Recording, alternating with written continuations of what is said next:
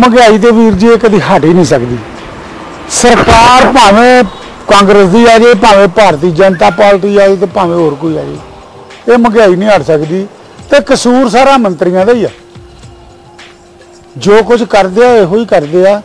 ਤੇਰਾ ਮੇਰਾ ਕਿਸੇ ਦਾ ਦੋਸ਼ ਨਹੀਂ ਹੈਗਾ। ਮਨਮੀਤ ਕੌਰ ਮੇਰਾ ਨਾਮ। ਕੀ ਕਹਿਣਾ ਚਾਹੁੰਦਾ ਮਹਿੰਗਾਈ ਮਹਿੰਗਾਈ ਜਿਸ ਤਰ੍ਹਾਂ ਅੱਜ ਕੱਲ੍ਹ ਸਰਕਾਰ ਨੇ ਪੈਟਰੋਲ ਡੀਜ਼ਲ ਤੇ ਘਰ ਦੀ ਵੀ ਜ਼ਰੂਰਤਾਂ ਜਿਹੜੀਆਂ ਮਤਲਬ ਕਿ ਵਰਤਣ ਵਾਲੀਆਂ ਚੀਜ਼ਾਂ ਵਧਾ ਦਿੱਤੀਆਂ।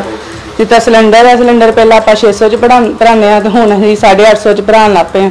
ਤੇ ਗਰੀਬ ਲੋਕ ਲਈ ਮਤਲਬ ਕਿ ਇਹ ਭਰਾਉਣਾ ਵਰਤਣ ਵਾਲੀ ਚੀਜ਼ਾਂ ਜਿਹੜੀਆਂ ਚਲੋ ਖਾਣ ਪੀਣ ਵਾਲੀਆਂ ਚੀਜ਼ਾਂ ਵੀ ਮਹਿੰਗਾ ਦਿੱਤੀਆਂ ਉਹਨਾਂ ਨੇ। ਇਸ ਕਰਕੇ ਅਸੀਂ ਕਹਿਣਾ ਚਾਹੁੰਦੇ ਕਿ ਇਹਨਾਂ ਨੂੰ ਰੋਕ ਲਾਉਣੀ ਚਾਹੀਦੀ ਹੈ ਤੇ ਘੱਟ ਕਰਨੀ ਚਾਹੀਦੀ ਹੈ ਇਹਨਾਂ ਦਾ। ਸਬਜ਼ੀਆਂ ਦੀ ਕੀਮਤਾਂ ਵਧੀਆਂ ਨੇ।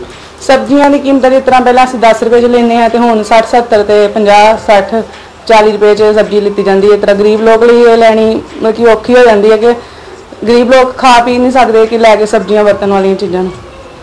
ਸਰਕਾਰ ਨੂੰ ਕੀ ਕਰਾਂਗੇ?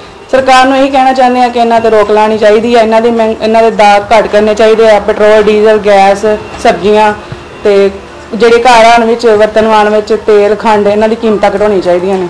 ਮੋਦੀ ਦਾ ਕਹਿੰਦੇ ਮੈਂ ਆਉਂਗਾ ਤਾਂ ਮੈਂ ਤੇਲ ਸਸਤਾ ਕਰਨ ਕੀਤਾ ਤਾਂ ਨਹੀਂ ਜੀ ਕੋਈ ਵੀ ਸਸਤਾ ਨਹੀਂ ਕੀਤਾ ਸਗੋਂ ਤੇ ਵਧਾ ਦਿੱਤਾ ਮੋਦੀ ਸਾਹਿਬ ਨੇ। ਸਤਨਾਮ ਸਿੰਘ। ਲਾਨੂੰ ਕੀ ਕੰਮ ਕਰਦੇ ਹੋ? ਆਟੋ ਚਲਾਉਂਦੇ ਬਹੁਤ ਮੁਸ਼ਕਲ ਆ ਰਿਹਾ।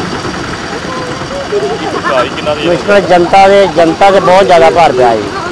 ਕੋਈ ਗਰੀਬ ਬੰਦਾ ਕਿਰਾਇਆ ਨਹੀਂ ਖਰਚ ਸਕਦਾ। ਬਹੁਤ ਮੁਸ਼ਕਲ ਆ।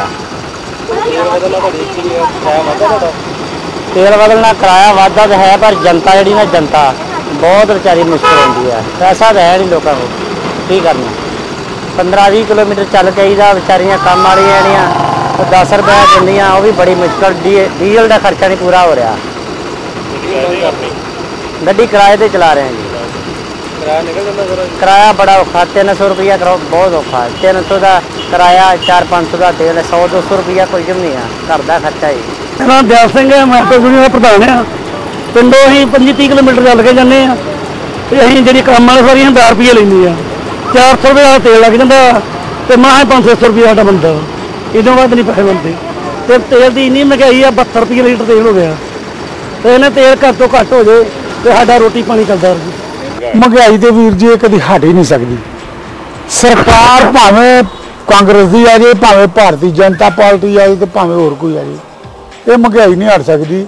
ਤੇ ਕਸੂਰ ਸਾਰਾ ਮੰਤਰੀਆਂ ਦਾ ਹੀ ਆ। ਜੋ ਕੁਝ ਕਰਦੇ ਆ, ਇਹੋ ਹੀ ਕਰਦੇ ਆ।